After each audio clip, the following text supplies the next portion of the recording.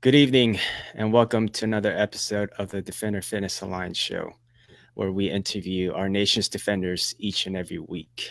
Uh, before we get started, I wanted to let you guys know about the Defender Fitness Alliance group. If you guys know of any military veterans or first responders or law enforcement officers in the health and fitness business, please have them come join the group and um, be part of the alliance. All right. So, with that being said, I want to introduce our guest for this week. Um, our guest for this week is an Army veteran, and he is also the president and founder of Make a Vet Sweat. I want to introduce Justin Bowflex Bohannon. Justin, uh, first and foremost, thank you for uh, thanks for coming on, brother. And um, could you tell us a little bit about your service and what you're up to now? For sure. Uh, thank you for inviting me, and uh, thank you for allowing me to talk a little bit about what I do to your following and your network, man. Um, so yeah, um, my bad. What was the question? uh, just tell us a little bit about your service and what you're up to now.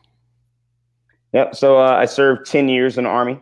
Six of those years was uh, with the 11 Bravo. I was at 101st. I was a airborne infantry.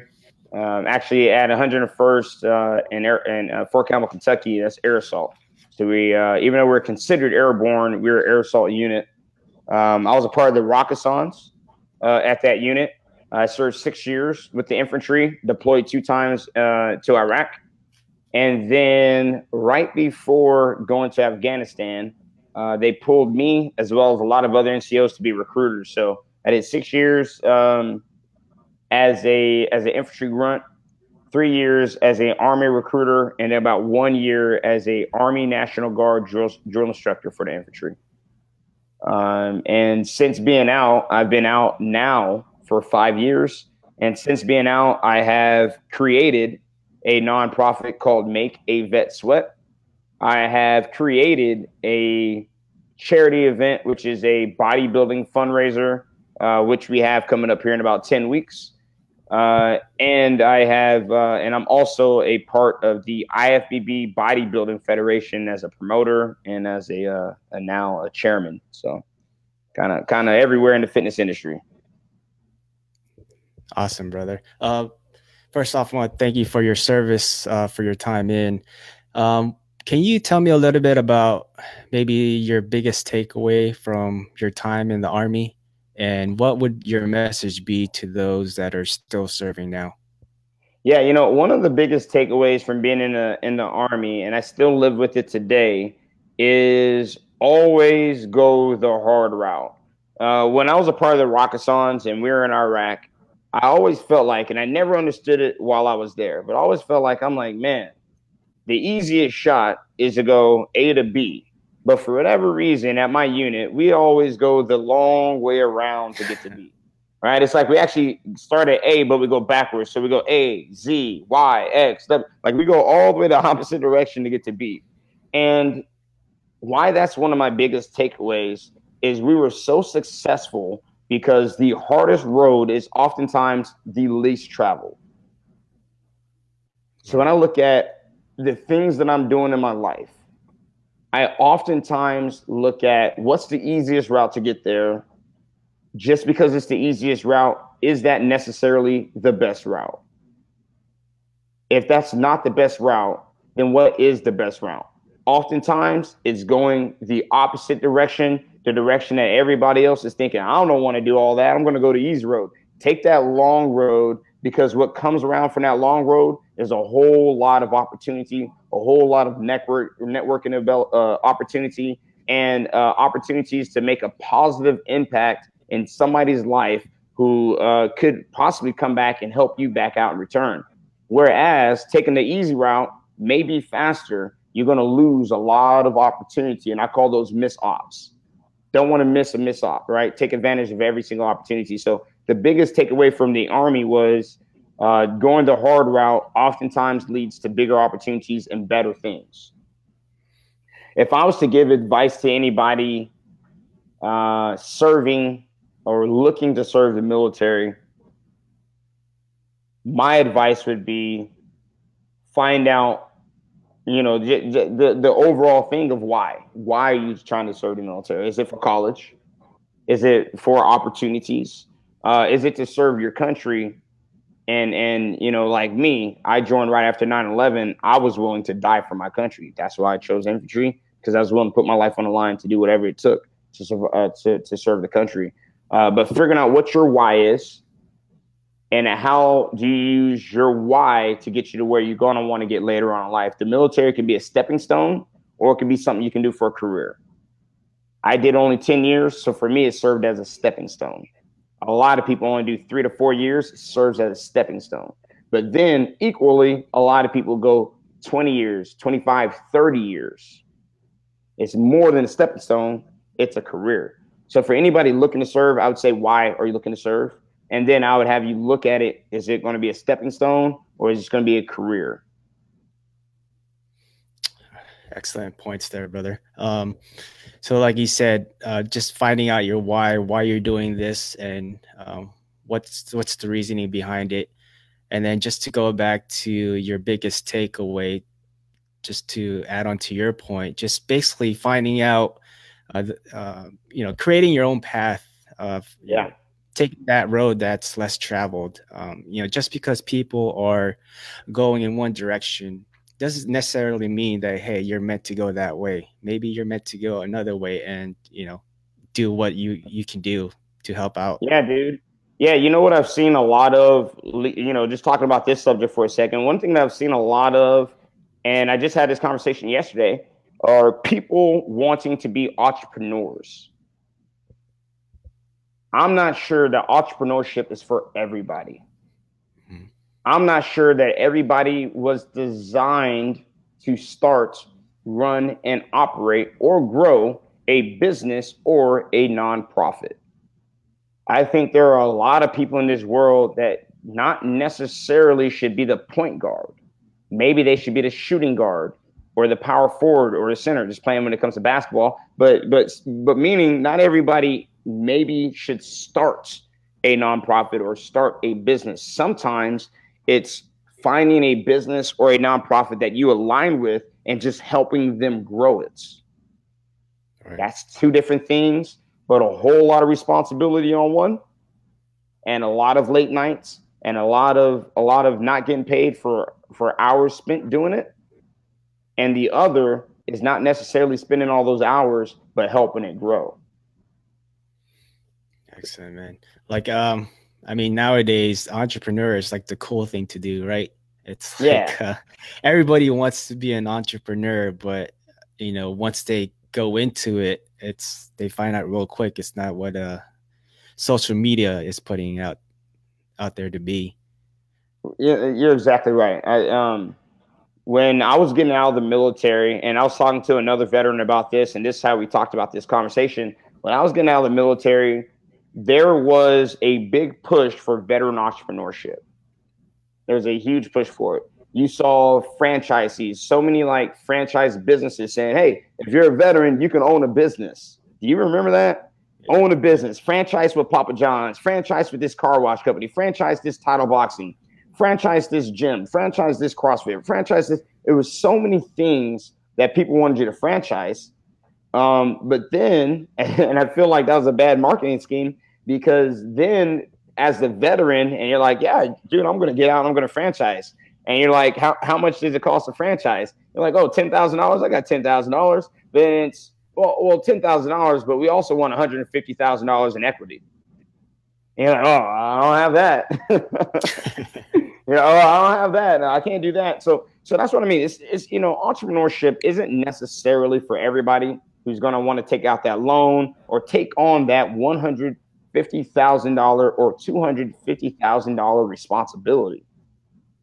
Maybe it's just improving other people's businesses. So finding out your why, finding out what works for you, and if that's the route that you want to go. Is this going to be a career for the military? Is this a stepping stone for the military? So uh, for anybody in uh, looking to join us, bring out why and how that's going to help you out in the future.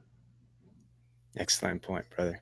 So uh, before we go into um, you know your nonprofit your your passion now um oh yeah let's let's go back into um you know your transition out of the uh the army how was that experience for you? And what's uh, one advice that you can give to those that are trans- transitioning out of the uniform? The transition out of the military for me was a rough one. It wasn't easy by any means. I think that I had an idea and I was like, oh, yeah, no, it's going to work out. I was very positive and very optimistic. But I was that guy who did not have $150,000 in equity. So I was that guy who was like, I got to figure out how to make this. Um, lucky for me, so so lucky for me, I my brother allowed me to live with him for free for for X amount of months until I got myself on my feet. Not everybody has been as fortunate or is as fortunate to have the family that I had or the support that I had anybody transition out of the military, I would say a couple of things. Number one, figure out like like put the numbers down. Like, you know, don't figure out your mind. Put the numbers down. How much money are my everyday expenses, every month expenses? So how many do I actually need to pay all my bills? My car note, my rent, my uh, how much money do I actually need monthly to spend to take all my stuff? How much money do I need to live comfortably how much money do I need to actually be able to build up a savings and actually make uh, some some some good things happen in my life? I would look at that before you ever got out the military. I did a bad job of it. Did a very bad job of, of financially planning my future. Not a whole lot of people are really good at it, but it is financially plan what you plan on doing for your future because there's a very likely you may not have a job that GI Bill that you that says thirteen hundred dollars in stipend, you know, that actually still you still got to pay for your books. you still you know you still you still got to buy groceries and gas and and right. and you know things. So it's like that thirteen hundred sounds really really good, but you also have to max out in school credits. So you're spending so much time at school, you're not able to work. And if you're at school full time and working part time, how much money is that? Because that's probably going to be barely enough to pay what you need to get done. All right. So yeah, for me, it transitioning out, financial plan, financial plan, financial plan. So how did um how did you go about you know creating this nonprofit? Um, you talked about you know some having some financial issues. How did um how did this all come about with uh, Make a Vet Sweat? Okay, so when it comes to financially, well, let's talk about how I even started it. When when I started Make a Vet Sweat, I I, I first started Make a Vet Sweat because while at college and me just talking to people and, and meeting people and you know uh, you're telling you know i'm wearing an army backpack at school or i'm having my dog tags or an army t-shirt on people knew that i was a vet so they would come up to me and talk to the other veterans it'd be like a calling like, hey hey what's up man how you doing and we would somehow some way we would get to the conversation of how are you holding up? How are you holding up? And somehow, some way, we always got to that conversation, whether it was to me or me asking somebody else. Just checking on each other. Just checking on each other. I found oftentimes than not that most veterans were depressed. Most veterans felt like they lost a sense of purpose, and most veterans had lost a self, you know, a loss of self confidence and self esteem.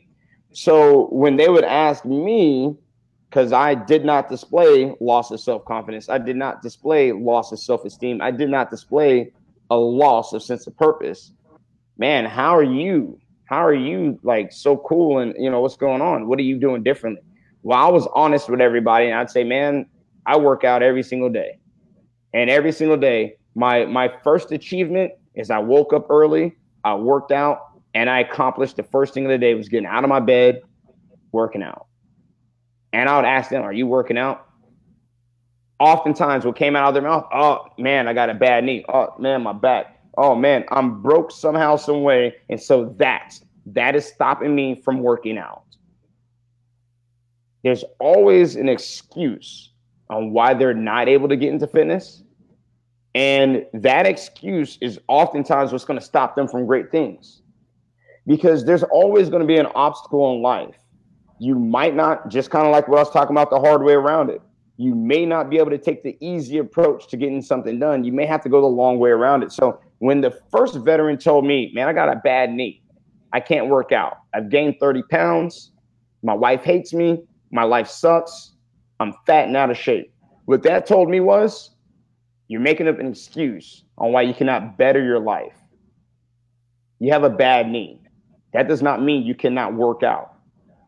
There's other ways that you can work out.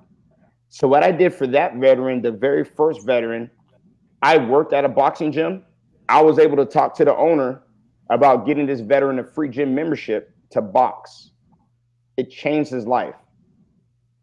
Now he doesn't have to run to get in shape, but he's able to punch a punching bag and get anger and aggression and and feeling of self-doubt, feeling of depression, feeling of anxiety. He's able to put that into a punching bag. Right. He was like, Justin, man, thank you so much. And, and speaking of which, when I saw him one year later, he looked like a completely different person. At this point, one year later, he got into a Brazilian Jiu Jitsu uh, tournament. He had done a boxing tournament. He had legit changed his life around.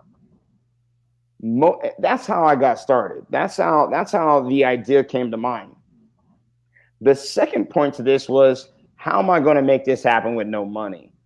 All right. Financially, I'm broke.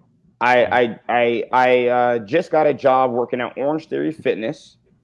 Uh, I was doing super super good, and so I was making about fifty five dollars an hour, and I was coaching about twenty classes a week. So I was making a decent amount of money, probably really probably about thirty five to four thousand a month, and if you put that in yearly, probably close to about thirty five to forty thousand a year decent. I wasn't doing great, but I was able to pay my bills. With what I had, um, I'll, I'll, also say I don't spend much time at all watching TV. I also don't spend a whole lot of time doing things that don't uh, does not improve my life. I, I spend in 24 hours a day, only sleeping probably about five to six to seven hours a night. I maximize what I do on my every single day. I don't sleep until noon, never and and I oftentimes I also don't go to sleep at eight o'clock p.m. I go to bed late and I wake up early, and that's my everyday. The same thing I did in the barracks, same way I lived in the army. It's the hard route, but that's how I, I maximize my day. And I spent as much time as I could studying other nonprofits like Wounded Warriors Project, other nonprofits, and I said, how are they doing it? I, to this day, have not got paid by my nonprofit. So I'm talking three years, three years of staying up late, three years of spending my weekends at events selling t-shirts for $25, three years of creating events, creating fundraisers, trying to make money for other veterans, and I have not paid myself. How do you get started in something like this? Legit, thinking of it like that. I'm going to put in an investment and I'm going to call it sweat equity. I'm going to put hours into my own operation. I'm not going to see money. We're not going to see money. I have to create money. There's an obstacle. I got to go figure out how to get around this obstacle to create money in order to help out veterans. If I can create enough money, then maybe one day I'll be able to pay myself. But legit, getting into this nonprofit was me watching YouTube, me Googling, and me studying other nonprofits. And I did read a book.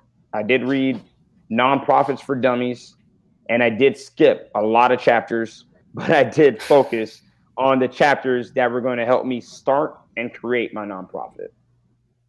I didn't have a mentor. I just kind of did it all, just maximizing my time. Justin, man, that's uh, excellent points right there. If uh, if you guys are listening to this right now, or if, if you guys listen to it later, uh, you know, just to go back to what Justin was talking about, just make use of what you have. Make use of the day that you're given. Right. Um, a lot of people when they they set their alarm, they have you know they have that that snooze button. Um, I like to tell myself is like if you hit that snooze button, you try to go back to bed, you're waste you're just wasting more time that you're given, right?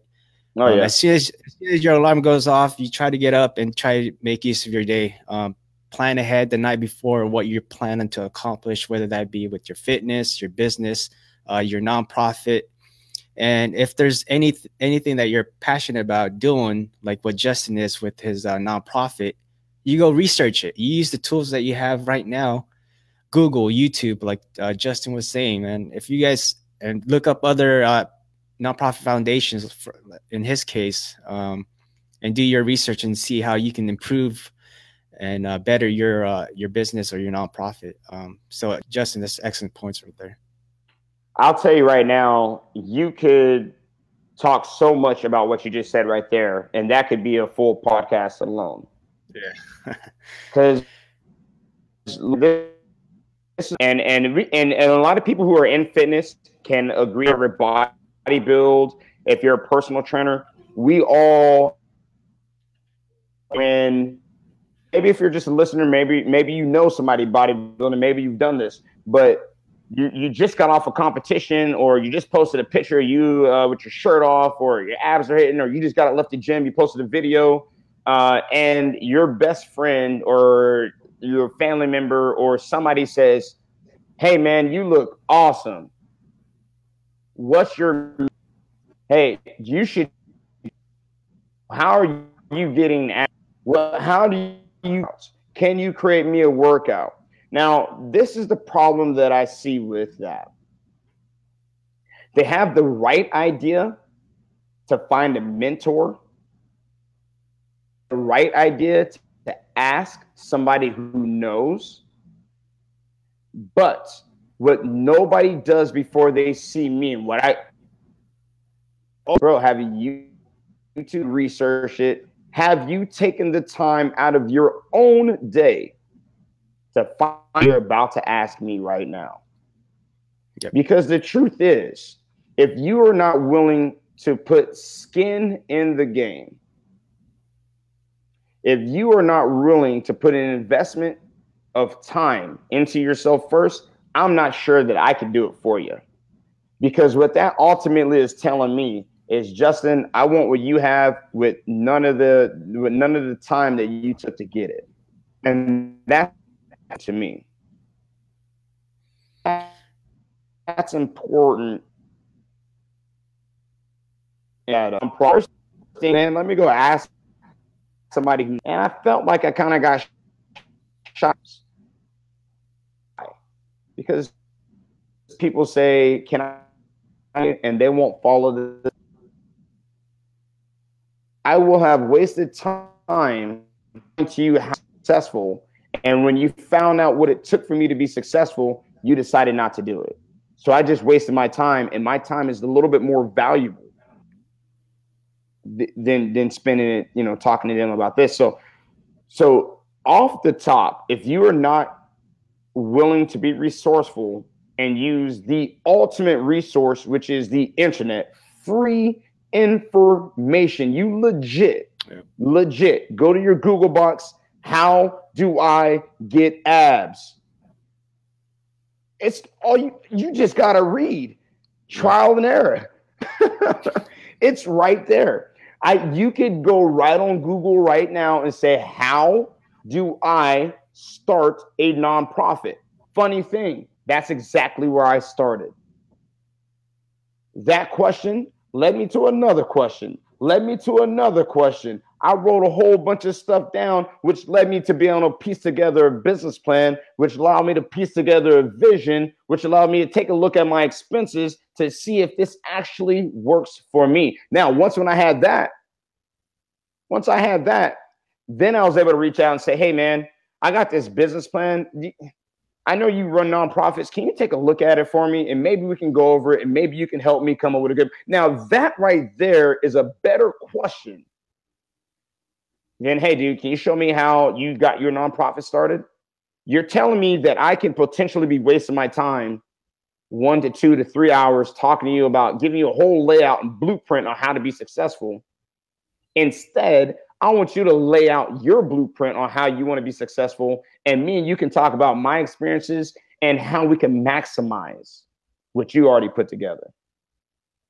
We have so many free resources out there. Score uh, Chamber of Commerce, uh, your local community college, so many research books at the library, books at, at Barnes and Nobles, the internet, so many resources. But the first thing people always want to do is look right at that trainer and say, Hey man, how did you get your abs? You're my friend. How'd you get your abs? Well, you know, dude, after this eighth or ninth or tenth or twelfth or thirteenth or one hundredth person, I how I I cannot devote one hour to every single person that has an idea that today they want to get abs because they realize it's June and they have a pool party in three weeks. Yeah, time is precious, guys. I mean, look look look it up. I mean, Google's right there. Dude, dude, we can talk about all the things in the world that you can invest in that you'll get money back on. One thing you will never get money back on is your time. Yeah. Man, I man, if you you know, time is so valuable. It's so valuable. I I almost would tell somebody if you want one hour for me, you got to pay me for it. My time right now is going to worth fifty dollars. You got fifty dollars you want to pay for? Otherwise, I'm not going to tell you about how to get your abs. I'm not going to tell you what I did to get my nonprofit started because man, I you know, in in time where there's time spent on my business, where there's time on my personal working out for my own personal self, or it's time spending with my daughter. Time is valuable, and you have to take. Valuable. You you have to know that within yourself to say my time is valuable. I need to get my ass out of bed and make worth of this time. At some point in time, we're going to die. And if you spend time in the military, that that is a realization. At some point in time, you had to write your will. At some point in time, you had to say, "Well, yeah, if I die, twenty percent goes to my, you know, my family members." We all do that in the military. That's a part of the end process. So death is a real thing. We have to take we have to take accountability for the fact that we're going to die and accountability for every minute that you're spending on this earth if you can impact somebody's life in a positive, then then you're then dude, you're maximizing what you want to do. So that's yeah, that's where I'm at. Sorry to go on a tangent, big guy. oh man, awesome, brother. Excellent points, man. I'm Just, I'm really passionate, man. Yeah, I, I see that and appreciate that, brother. So uh, just to go back into um, talking about your nonprofit, you said you've been going for what three years? You said. Yes. So um, what's been, I guess, the worst moment um, since starting Make a Vet Sweat, and how did you overcome that moment? Ooh, the worst moment that I had from starting my nonprofit, the very first year, going into my second year, um, I had a lot of veterans lined up to join gym memberships. And I'm like, man, I got to figure out how to pay for it. So I came up with the first bodybuilding Mavs Charity Classic, uh, and it was in 2016. And the reason why that was my worst worst experience is I had set a date, I had got a venue, but I never signed a contract. It was a verbal agreement. The there was also a nonprofit venue who's looking to make money. It was my very first year. They didn't have any faith in what I had, or I didn't have a whole lot of legitimacy either. They did a verbal contract with me that I can have a date July 16th in Austin, Texas. And six weeks before that event, so about mid June, they contacted me via text and said, Hey, uh, the venue got bought out by somebody else. We have no availability on July 16th. We have no availability for any days in July and no availability for August. Oh. I read that text message and said, "What the fuck?" like I like at this point in time, dude, I had printed out posters. I had printed out flyers. I had Facebook events. I had people competitors competitors paying and registering to compete in my show. 6 weeks before, I have to change it. So what did I do to overcome it? Well, at first I was frantic and and I was panicking. And I called a whole bunch of places because I wanted to keep that July 16th date. I with with six weeks time, I could not find a venue space that would allow me to do it. So I take a step back and I talk to my support system. It's so important to have a support system, and that's another great conversation to have.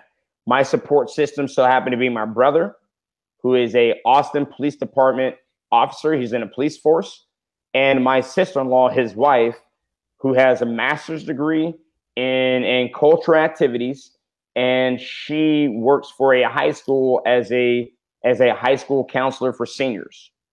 Neither one of them know anything about nonprofits. Neither one of them have put together events. So neither one of them have experience in what I was looking for. But I decided to talk to them because I was stressed and I needed some other people with ideas. So I lay out all everything that I've done. I'm like, guys, I'm stressed out. I'm panicking. I mean, I'm damn near in tears, damn near in tears because I feel like I'm going to fail. My brother says, Justin, have you thought about having it outside of Austin? And at first I was like, yeah, yeah. I mean, I thought about it, but it, but the truth is, no, I, I really didn't think about it. So then I sat down I was like, well, let me think about that. And what I saw was number one, the obstacle, and, I, and this is going to be a key point throughout this entire conversation. The obstacle is I don't have a venue for July 16th. How do I get around my obstacle and make it a success? I pushed the event back two weeks to allow me a little bit more time to market and change my marketing strategy. I changed my entire marketing strategy and I had an event in between Austin and the nearest Army base, which is Fort Hood, Texas. So, right in Temple, right in between Austin and Fort Hood, is one hour out of Austin and it's 45 minutes from Fort Hood. I was able to host my charity event the things that happened. Number one, the venue was cheaper because it was outside the city. I had a huge attendance because it was veteran or- orientated, and I made it free for veterans, so I was able to market it on Fort Hood Army Base. I took what could have been a disaster for my first charity event, and I was able to raise twenty-five thousand dollars on my first oh, event. That's awesome, brother. You you take an obstacle. It's okay to get frustrated, especially in the very beginning. When you're not used to being a problem solver, which is what an entrepreneur at the end of the day is, especially running a nonprofit, there's a problem, to solve it. When you're not used to being a problem solver, those first problems are just going to be painful. So leaning on your support system. I mean, they don't necessarily have to be event planners. I mean, you know, theoretically, that's who you want to talk to. That's who you want to be a mentor. But people who are just successful at life, thinkers, real problem solvers, they can help you get around it because we're going to be so used to seeing things like this that when you have somebody else from a different perspective, they can open it up and say, dude, you're so right. right. You're so right. I could change my flyer throw more military background on there. Call it free for for all military active. Promote it at a military base. Be in a location that's in between Austin, the big city, and Fort Hood, which is a big army base. And I can get people to meet in the middle. Maybe not everybody's going to come, but there's a lot of people that will come. Take an obstacle. Don't just stress over the first way to get around it look at other ways to get around it. Again, in the army, just referencing back to my army days, we oftentimes went from A down to Z, down to X, down to Y, down to W to get to A or get to, to get to B. You're like, dude, that's a long way to get around it. But hell, we were successful.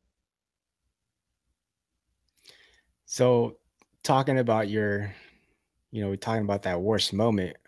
Would you say the end result was the best moment so far, or what's what's been the best moment in yeah make this yeah.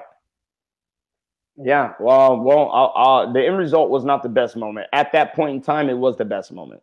To be able to raise $25000 to be able to raise 150 vet or help out 150 veterans uh, through, throughout the state uh, get gym memberships that at the moment that was the best uh, the the best the best moment of of of my time uh, working with the nonprofit. But uh, hindsight, right now, the best moment of working for my nonprofit uh, has been the testimonies. Last year, I, I did my first gala. So now I hold bodybuilding competitions and I hold a military gala. And I do that August 4th here in Austin. Uh, at that gala, it's really kind of a military ball. I allow key speakers to come and speak. One particular person I had speak uh, was a veteran that I helped uh, get gym membership, and his testimony blew me away, man. It blew me away. Uh, hearing him tell me that I legit saved his life. What we hate hearing as veterans is that a veteran committed suicide. Man, you know, I you know I I I hate hearing uh, a veteran got blown up by IED. I hate hearing somebody got their life taken in war. Uh, but it, we we pretty much voluntarily sign up, knowing that I may die or I may not die. We do not volunteer for the after effects of transitioning out of the military, coming back from war. We don't even plan for it. We think about, man, my buddy might die if we go overseas. Man, I, I might die if I go overseas. We even prepare our families for it but nobody's prepared for transition coming back. So to be able to say that this guy came back and and was legit at the at the at the bottom of their life and to say man getting into brazilian jiu-jitsu getting me to start boxing and work my stress channel my stress in a different way change their life i mean if if all I do in my lifetime save one person's life, I've done that. It's awesome. You know what I mean? It's it's, it's all about one, right? Can I save one person? If I can save one person, man, I mean, what more can you ask for? Right. It's a testament to what you guys are doing over there, man. So again, shout out to you guys and Make a Vet Sweat. Um, I got, a co- I got a comment here with uh, Chad Davenport. It says, uh, awesome company. Met them at Vet Fest last fall. Chad, uh, thanks for watching and thanks for the sh- uh, the comment. Hey, thank you, Chad. Appreciate that. All right, Justin. Uh, so for those who might be looking to start their own uh, nonprofit, what's uh, what's one advice that you can give them, and give us an internet resource that they can use Um, if you're looking to start a nonprofit, it is important for you to know that there is no money in in nonprofits. The fund up closer to that one million dollar a year annually mark. Um, the way that fundraise, uh, the way that nonprofits work, uh, they're based on the community. So the community uh, helps you donate, but they also are able to see your taxes. So if you raised ten thousand dollars in one year and you paid yourself, that it comes out in taxes. It comes out in taxes. You have you, it. There's no way around it. It comes out in taxes.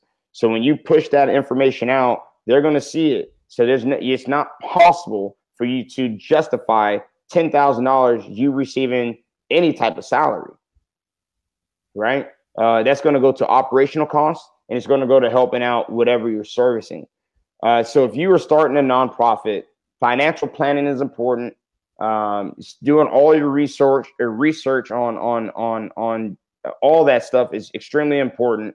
Um, and as far as a resource, a resource to go to online, um, I I I personally would look at what community colleges you have in the area, and if they have a nonprofit division or program or courses at that uh, at that community college. If they do, I would say find a mentor, do your research, find a mentor, sit down and and and and talk it all the way out. Make sure that you're going to make this commitment. Uh, nonprofit, it just simply is not easy work. Uh, your payment is off the reward of saving one person's life and doing it every single day. I'm every day I want to help one person save one person's life. So uh, if you're looking at starting a nonprofit, go into it with the mentality of I, I have to figure it out. And then if you guys are here listening to this right now, um, you know, thinking about doing that, and I'm sure Justin can can answer any of your questions regards to uh, nonprofit as well. If you guys have, um, you know, have any ideas in doing doing that. Um, All right. Yes, so, I'm always uh, available. Awesome, brother. All right, brother. So we've come to the last portion of the uh, the interview here. Uh, so this is where I ask our guests the five fitness facts. Um, are you ready, Justin? I'm ready. All right, brother. Uh, so first question is, what's your favorite workout? My favorite workout, number one, I like to lift heavy weights. I'm a big fan of German volume training because I'm trying to gain and get big, and I like to work legs. So I like to do 10 sets of 10 reps of the heaviest weight that I can do, that I possibly can do. And my favorite workouts are leg day workouts where they're miserable, they're grueling. That's my favorite overall workout. Awesome, brother. So, talking about your favorite workout, what's your least favorite workout?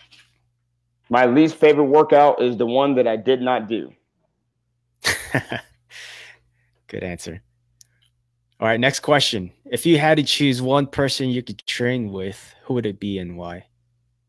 Dude, I train with The Rock. I train with Dwayne Johnson all day, every day. Number one, he's a beast. Um, but number two, he has the type of personality. Um, I'm, I'm a firm believer of surrounding yourself with people that do better than you. So he has the personality that I feel like if I was able to spend an hour with him every day, I would grow as a person. You know, so it'd completely be The Rock. I'd work out with him all day. Great. Great answer. Great motivator too. Yes. Rec- recommend a book for our listeners to read. Ooh, the obstacle is the way. That was kind of the theme of this conversation. I felt like today with you guys, and it's been the theme of my life, and it's my been my biggest takeaway from the army is that the obstacle is the way. Whatever way you see provides the biggest obstacle, pull up your britches. You know, pull up those uh, sleeves and get your arms dirty because that's the way you got to go. Get to work. Solve the problem, get around that obstacle. And uh, next question tell us your favorite quote and why. Okay, my favorite quote is uh, I don't remember who this. Well, I, kind of have two favorite quotes, uh, but my absolute favorite quote is: "Surround yourself with people who work harder than you." do not have a list of friends that are that have so much availability. I think that people with availability typically are not the type of people I want to be around. Uh, when it comes to dating, I don't want to date a girl who's super available. My grandfather always told me that the best people to have are the busy people. Why are they the best people to have? Because they're always doing something. So if you need to get something done, you have people who are doers. Doers get stuff done. People who do not do, they have excuses.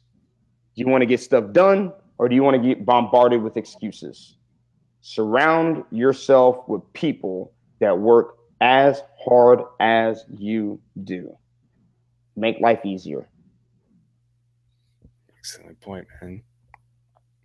And uh, finally, our last question Where can our listeners uh, connect with you?